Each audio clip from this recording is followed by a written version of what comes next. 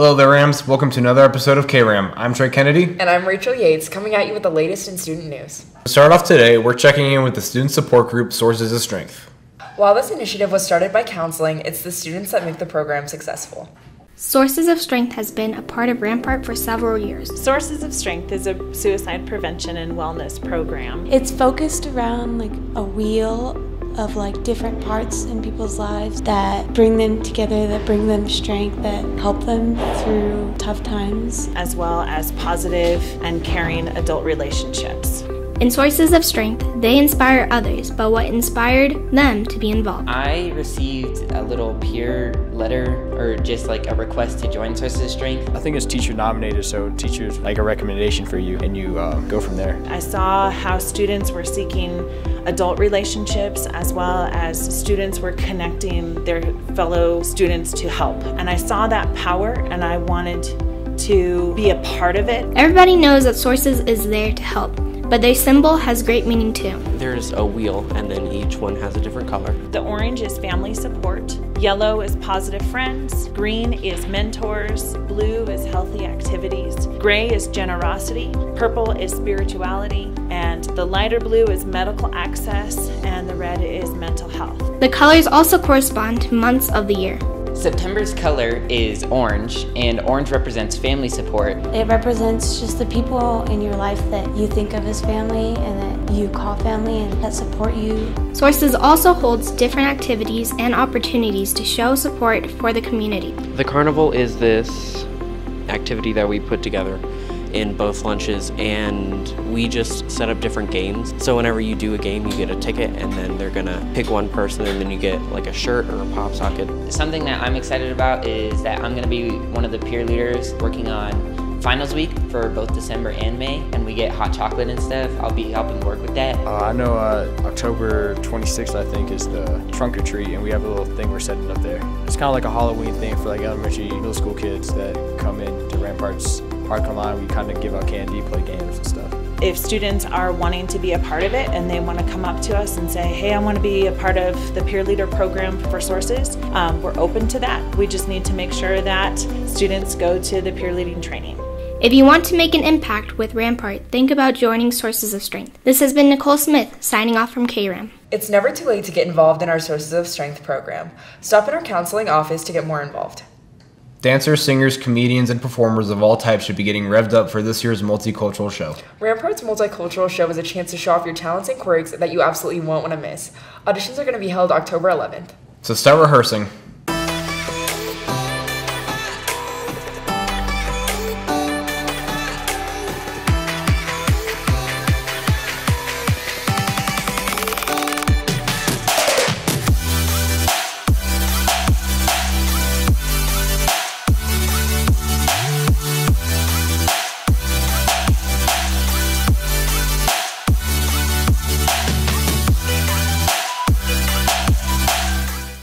Mischief Prairie Miss Gutierrez are in charge of the show and can answer any of your questions before you audition. With some of the most academically gifted students in Colorado, Free College Application Day is coming up and colleges all around the state will be participating.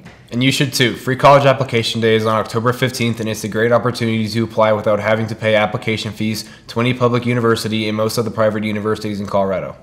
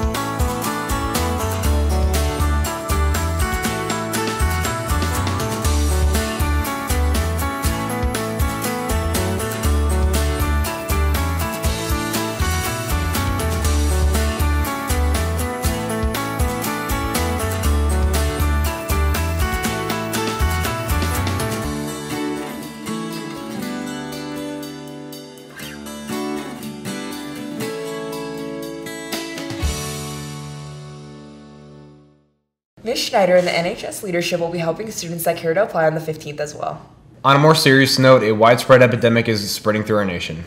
The mass of child pornography being spread through social media apps such as Snapchat and Instagram is becoming a major issue. KRAM talked to some of the experts about the issue. In America, sending or receiving sexually suggestive texts while being under the age of 18 is a crime. Rampart staff that are concerned about this decided to let us know why you shouldn't sext. So, sexting uh, basically boils down to that it's illegal to distribute, possess, display, or publish a private image of a juvenile. Well, after teaching a relationships class for the last 20 years, I've noticed that a lot of kids can do things that they later regret. They'll make mistakes that uh, they, at the time seems like an okay thing, but later on will come back to haunt them. Kids think that they're just texting their boyfriend, girlfriend, their friend, and they send pictures of themselves that are not appropriate without understanding what the consequences are. They let us know how sending nudes affects you and the people around you. It affects the students, it affects their families.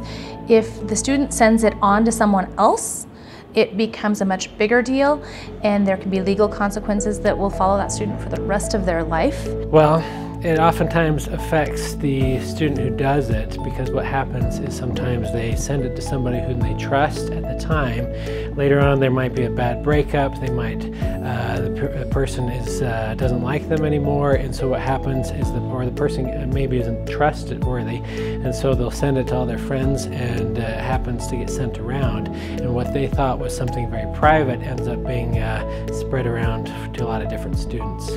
Our staff went into more detail about sexting. So always think about uh, what would happen if one day you broke up because the truth is most of you are going to break up with your boyfriend or girlfriend at some point in the future. Aside from legal consequences, there can be drastic emotional consequences. Because I think a lot of kids think that they're just being kids and they don't understand that this is something that can have a much longer lasting effect and they think that it's a minor deal, and it turns out to be a really big thing. Officer Issue let us know the punishment when caught sexting. Most severe punishment would probably be probation. Um, however, um, most if, if it's a very egregious violation of the law, uh, they could be remanded to Department of Corrections, Youth Corrections, which is basically prison for kids. Uh, typically, though, probation, fines, restitution to the victim is typically what you'll see as far as punishment goes. Now, if it's bad enough, you got upon conviction, you could also possibly face being uh, registered as a sex offender. If you're sent a sexually explicit image, report and delete it. This is Owen Reeves reporting for KRAM. Always think carefully before you snap and send a picture because you never know who might end up seeing it. It would be three strikes and an out if you were to miss any of this season's Rampart softball. The team is 12 and 6 so far. Let's hear from the ladies themselves on how this upcoming season is shaping up. In the fall, girls from Rampart take their positions on the field for softball. They're halfway through the season, so Karen wanted to check in. We have a strong team this year, so I'm looking forward to going pretty far, hopefully winning league, going to districts, regionals. I think the season's going pretty well. We had kind of a rocky start at the beginning, um, just playing some harder Denver teams, but now that we're more into league season, um, we've been doing pretty well. As a new addition to the team, a few new coaches were introduced. We got two new coaches, and I mean, so far, I think we're on the right page. Both of them are nice. They've coached softball before, so they know what they're doing. Well, we have um, two new coaches this season, um, so they've kind of brought a new dynamic to our team and like a different balance. The two captains this season have been a large part of the team's progress. Our leaders are our seniors, Ella and Kayla. They just keep the team together and under control. Um, Ella and Kayla are doing a great job. I love their leadership style. You know, they're not hard, but they're definitely firm and want to get stuff done. Another big change to the year is the competition. In previous years, the bigger league competitor was Pine Creek. Um, previous years, Coronado was kind of like a non-threat, but this year, their pitcher, I feel like, kind of, you know, gets in our head because she throws a lot of balls, but she's also faster. Probably one of the faster pitchers that we face in the league. They have a pretty good pitcher, so that was one of the things that we struggled with last time is, you know, hitting off of her. And you know, as far as other league teams, they're definitely up there competition-wise. So we lost to Coronado the last time we played them 4 to 2, and we played them again next week, and we played them at home. So hopefully we'll come out with a win. In preparation for it, we just need to stay calm and play our brand of softball and not let the outside noise like, oh, you know, Coronado's better than you guys. We just need to play our game. We just need to get our bats going a little bit more because that's where we struggled last game. After the game against Coronado, what will come next?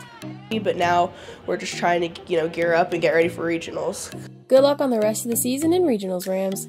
This has been Caitlin Zeiger reporting for KRAM. I can't wait to see where the season takes our team. Go Rams! Our science department is taking students all over the world to get real life experiences with their environment. They went to Iceland and now they're going to New Zealand.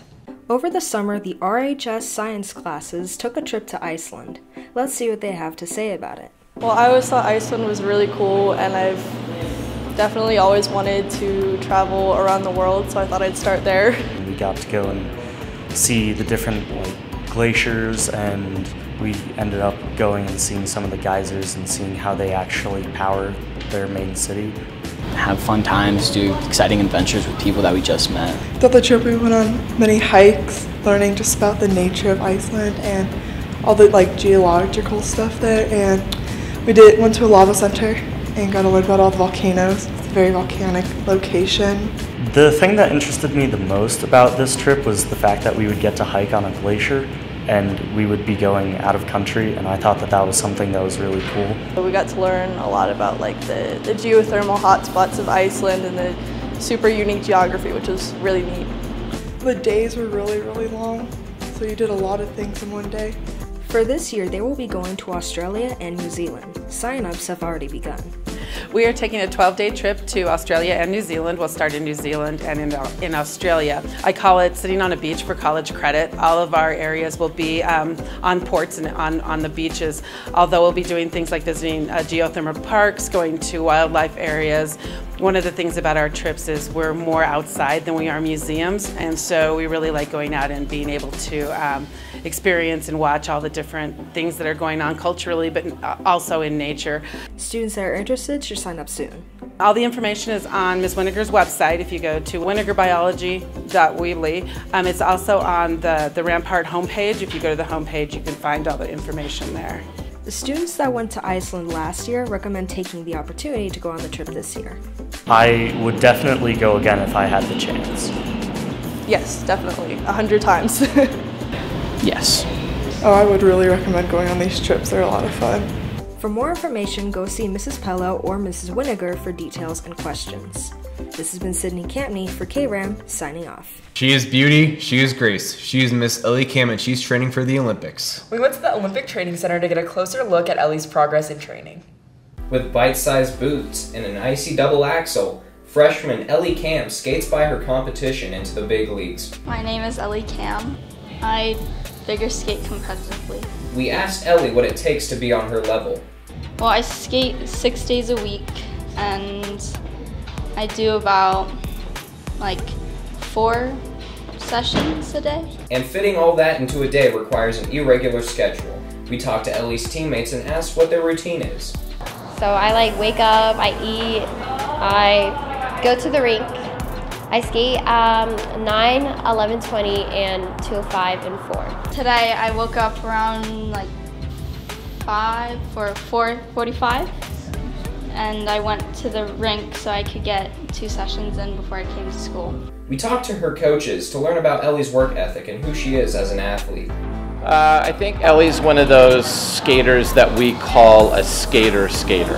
And that means that uh, as a former skater, I enjoy watching her skate because she has the athleticism, but she also has the beauty on the ice, the ease of movement. She's a phenomenal spinner. Uh, she kind of has all those attributes that make up a, a, hot, a top level competitor. Unfortunately, we could not get any footage of her practicing, but her coach Tammy Gamble paints a vivid picture. She has a special spark in her.